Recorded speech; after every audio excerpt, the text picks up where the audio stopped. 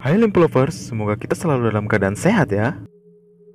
Awal tahun 2021, tepatnya tanggal 9 Januari, Indonesia berduka dengan jatuhnya pesawat penumpang Sriwijaya Air dengan nomor penerbangan SJ182.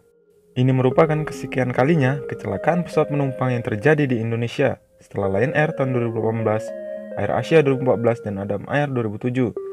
Semua pesawat ini jatuh dan tenggelam di dasar laut.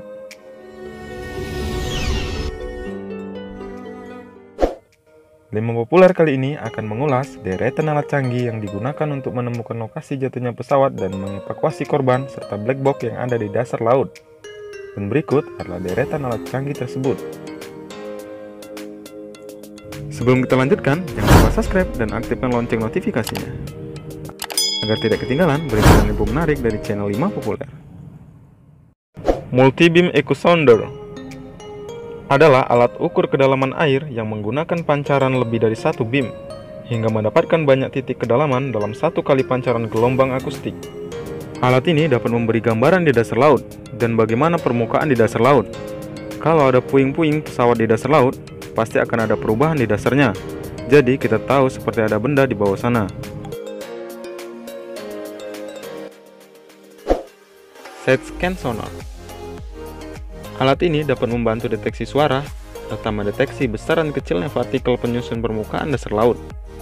Deteksinya berupa batuan, lumpur, pasir, kerikil, ataupun puing-puing pesawat di dasar laut. Teknologi sonar ini sudah digunakan semasa Perang Dunia saat kapal-kapal selam bermunculan.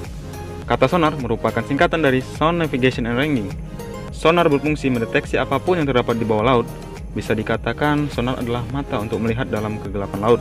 Teknologi sonar terinspirasi dari sistem komunikasi hewan mamalia laut, seperti paus atau lumba-lumba. Seekor mamalia laut berkomunikasi dengan mengirimkan gelombang suara yang disebut transmitted beam.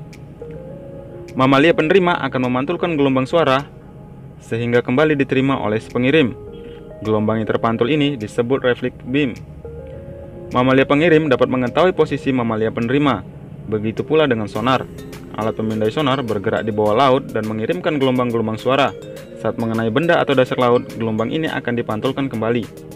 Alat pemindai sonar ini dapat mengetahui kedalaman dan posisi benda tersebut melalui panjang gelombang yang dipantulkan.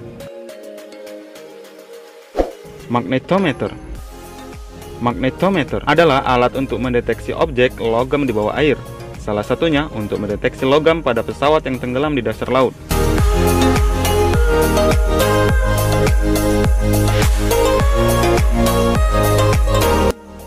Remotely Operated Vehicle ROV adalah robot bawah air tanpa awak yang dioperasikan dengan alat pengendali jarak jauh atau remote control yang mampu menyelam hingga kedalaman 1000 meter atau diseret menggunakan kapal. ROV dilengkapi dengan sumber listrik untuk menghidupkan lampu dan kamera sensor di bawahnya. Nah, ini merupakan ROV yang digunakan TNI AL untuk melakukan pencarian black box Sriwijaya Air SJ182 yang jatuh di Kepulauan Seribu. Semoga video ini bermanfaat bagi Limpo Lovers. Dan jangan lupa subscribe, like, dan share.